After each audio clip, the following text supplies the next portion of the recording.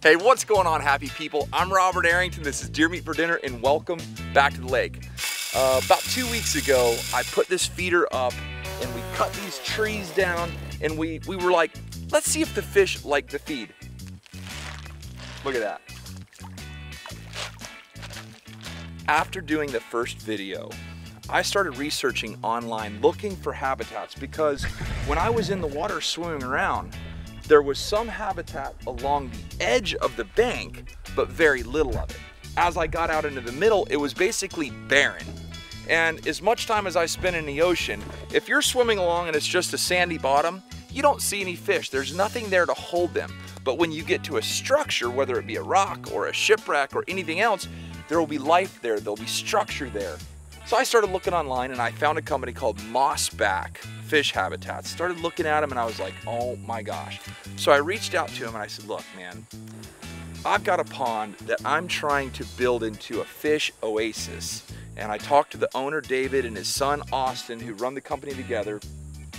They said, look, let us design something for you. They designed it, sent me over the preliminary drawings, and uh, we are gonna put together the most amazing fish habitat you've ever seen.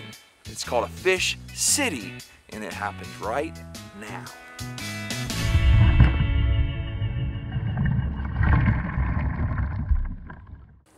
All right, so this is my team of crazies right here. This is Austin, Austin King, right? Yes, sir. Austin King. He's owner of Mossback Fish Habitats, and this is what was shipped to us. This is a ton of gear. And instead of him explaining it to you, we're just gonna show you. So we're gonna break up into teams. We're gonna start filling the bases up with concrete. We're gonna start installing things. These boys are gonna put the motor on the John boat and we're just gonna get cracking. And while they do that, I'm jumping in the water to go see what our, what our shipwreck and what all the original habitat looks like because look, man, this is Content Lake and I wanna see it from the inside.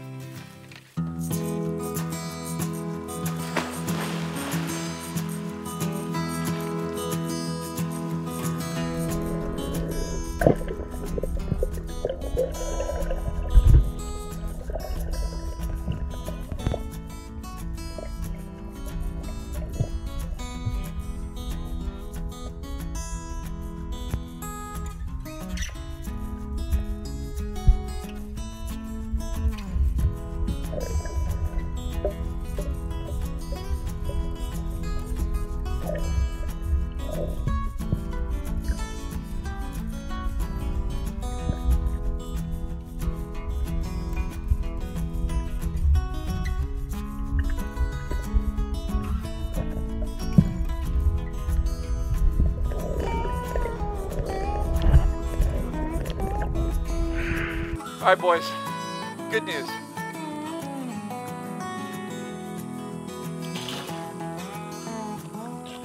When we put the uh, feeder up and built all the structure here, there was literally no life on the bottom.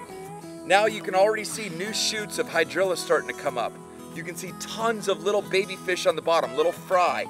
Instead of seeing all big bluegills, now down there around the edges of the structure and in the little areas, I see lots of little bluegill which means this habitat that we've already put here is starting to work. Now, because I love this pond, I love this ranch, and I love this life, we're gonna develop the most comprehensive, incredible fish habitat you've ever seen. Let's make it happen, boys.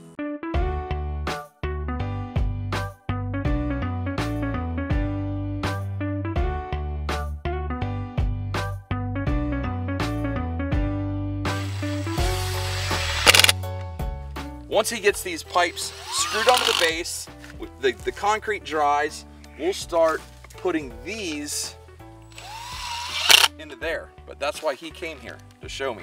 I'm terrible with directions. Those just fit right over the top posts. and then we'll put the next three limbs in the top, locking that thing into place. And then you're gonna just continue with this all the way down. Exactly. All right, good deal. While you do that, you keep rolling on this. I'm gonna take these and we're gonna get all our bases started.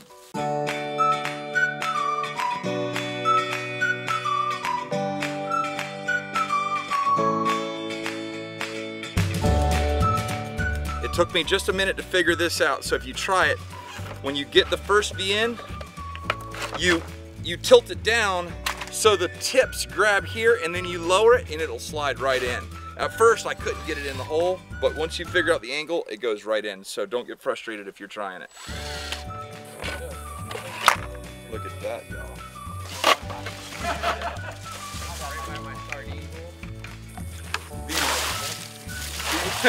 the sun is so hot right now that uh, I keep dumping water on it. Otherwise, they just burn your hands. Typically, you're not working in 100 degree heat, but that's what we're doing.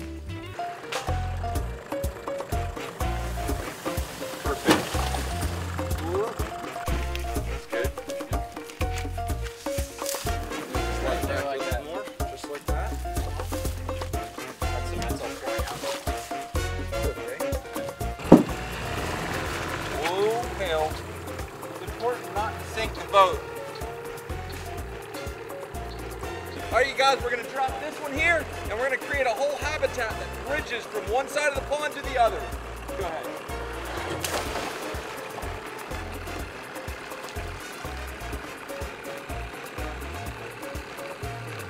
Wow, it just went down like a parachute. One of the really nice things about working around a pond is you get hot, jump into the pond. It's like instant relief.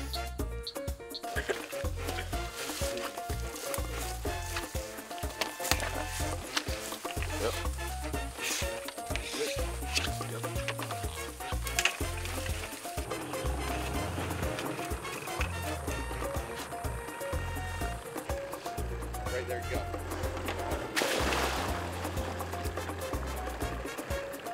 How cool is that?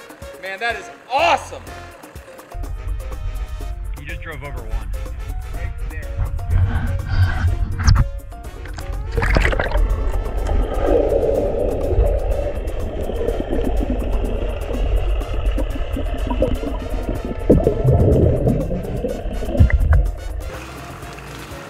Are you on the big one?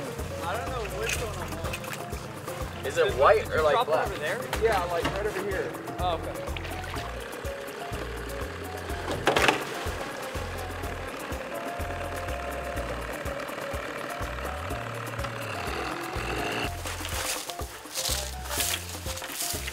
Are you ready? Um, Austin, where should this one go? So I'd put that one a little bit closer to the reeds off the off of the tall one he's on.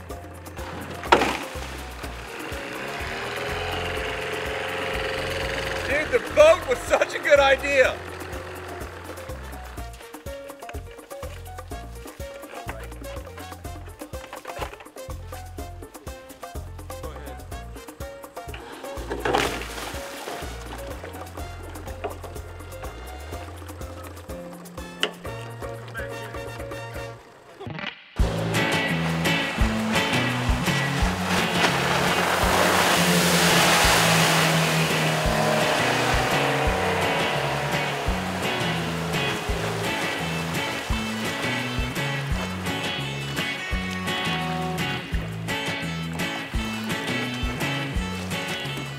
Originally, I wanted to create this area into just a huge fish city, but we've got enough to do two fish cities.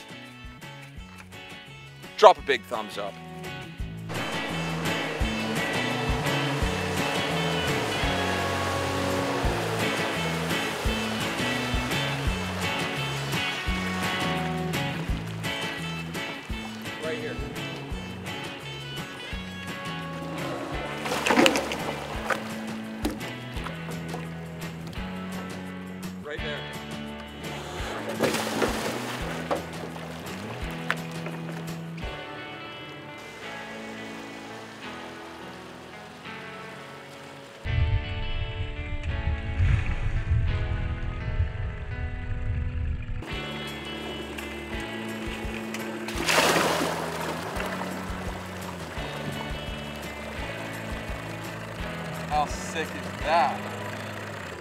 Here.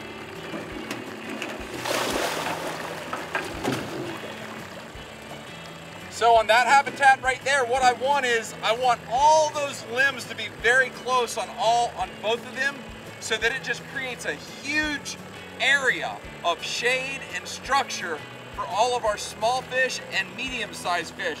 Over here we have the big tall one that's that's not nearly as tight and hopefully the bass hang out over there. We're gonna put a feeder right where David's standing right now.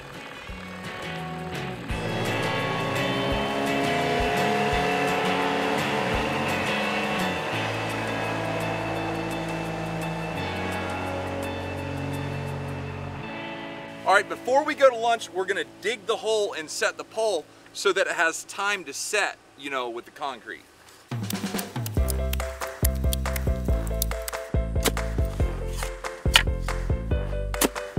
Get the uh, fast curing set out my truck.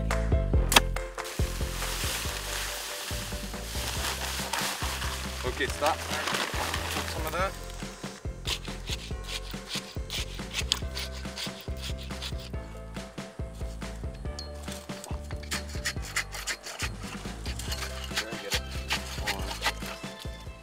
We just got done with lunch, came back out here, and my little brother, AKA Blue Gabe, is on his way. He's bringing his Bobcat because we want to fix all these washouts that are in the road. We're just gonna put a piece of six inch PVC pipe in here, cover it over, and hope for the best. So a lot of you guys know Gabe already started his YouTube channel. It's called Blue Gabe. First week he had over 10,000 subscribers. And when he's not hunting or fishing, this is what he does. He runs bobcats for a living and he is amazing at it. So we're gonna fix these washouts, get to it.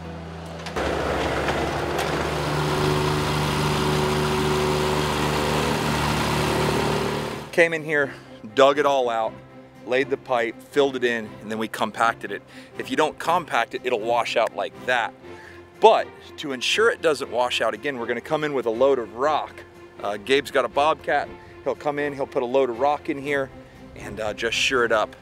It's always good to have great friends and an amazing family. My dad and my brother have that Bobcat company and uh, it really comes in handy. He's down here fixing the other washouts. We're gonna be back at the pond. Yesterday we put 22 habitats in that pond. Now I'm gonna throw my mask and fins, go check them out.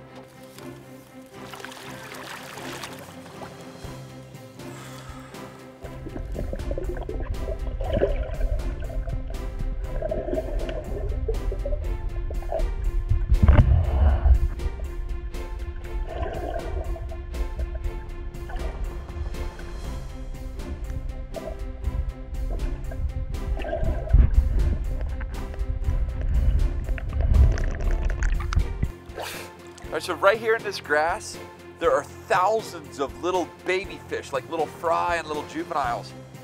And then we have like a whole safe haven that goes from the vegetation out here to the middle so that when we put the feeder up there and it starts casting feed all out here, they don't have to expose themselves so the big predators can come eat them. Really cool, man. Super cool.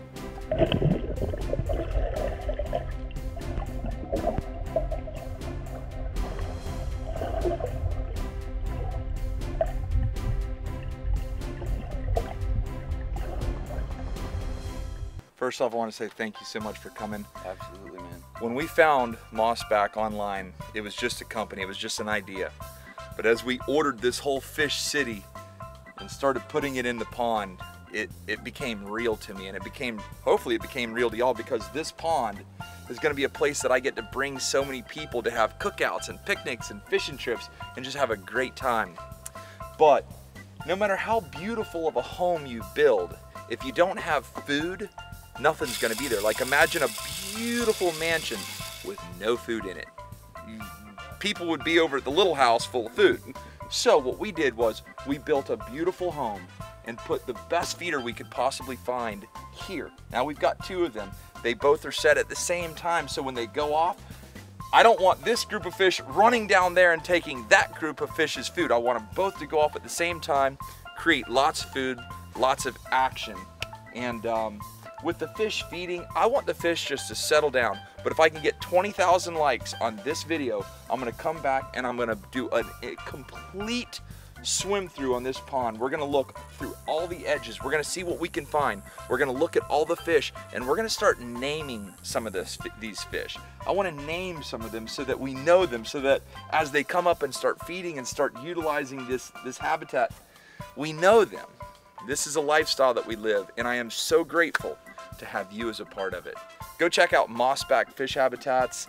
All the all their information will be in the description below. Check out Castaway Fish Feeders. They make deer feeders, protein feeders. They make uh, fish feeders, and it's owned by a great guy, Larry Castro, who's a dear friend of mine, and I now consider you a friend. You're Thank welcome you, back too. anytime. And uh, guys, take care. God bless, and we will see you soon. We gone.